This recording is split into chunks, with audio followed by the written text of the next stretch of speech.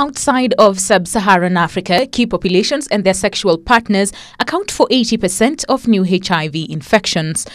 According to the UNAIDS, gay men and other men who have sex with men, sex workers, transgender people, people who inject drugs, and prisoners and other incarcerated people make up the five main key population groups.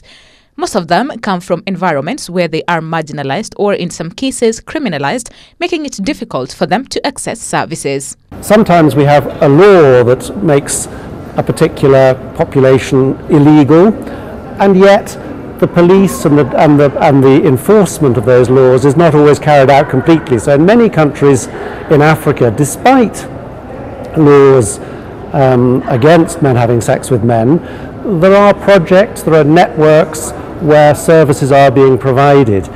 And if we don't do that, HIV will continue to spread in our community. Considered a human rights and a health issue, Peter says there needs to be a balance as far as providing services for the key populations and the laws so that no one is left behind in the fight against the epidemic.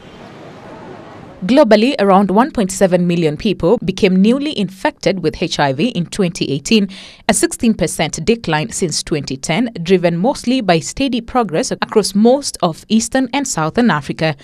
We see in the report from UNAIDS that progress is patchy.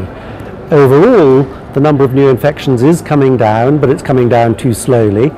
And in some parts of the world, it's actually going up, and in other parts of the world, it's continuing to fall more quickly.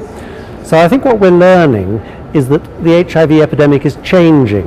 We've, we've dealt with some of the easiest parts, and now we have to push hard to control HIV in the more difficult parts of the epidemic. Despite the difficulty in reaching the 2020 target set by UNAIDS, the progress made has to be recognized. However, researchers warn of complacency. Winnie Lubembe for Ebru TV.